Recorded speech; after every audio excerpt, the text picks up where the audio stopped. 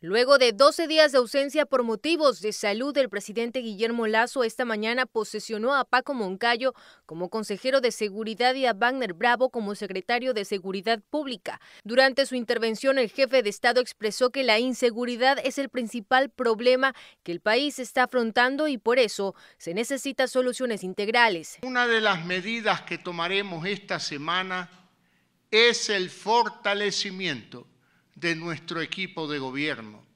Es un honor presentar hoy a dos distinguidos ecuatorianos que se suman a la misión de luchar en contra de la inseguridad.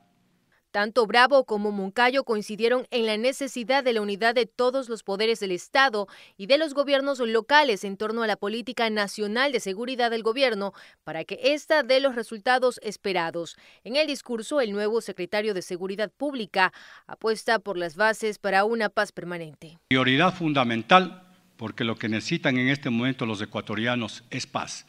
Sin paz no hay desarrollo y sin desarrollo no hay paz mientras que Moncayo en su intervención aseguró que la respuesta contra el crimen organizado debe ser contundente.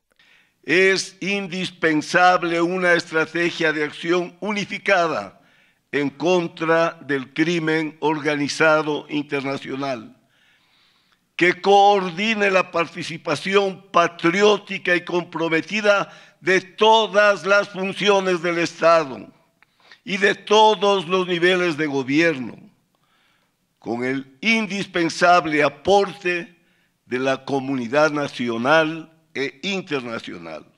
Con estos cambios, Lazo abre una nueva etapa en la lucha contra la delincuencia organizada, con una propuesta de mano dura y dos cuotas militares.